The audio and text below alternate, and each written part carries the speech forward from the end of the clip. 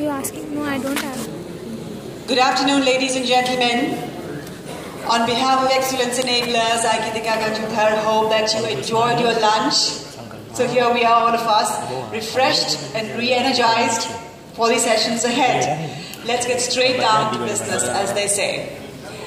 Malcolm X once said that media is the most powerful entity on earth. It has the power to control the minds of the masses. So true.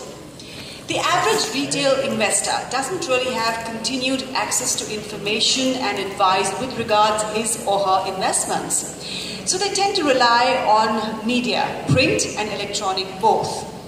In an environment where the printed word is gospel truth, it puts even more responsibility on the shoulders of media to project information in a correct and straightforward manner. But in some cases, corporate interests are advanced, and this puts investors at peril. Is self regulation a solution? Let's attempt.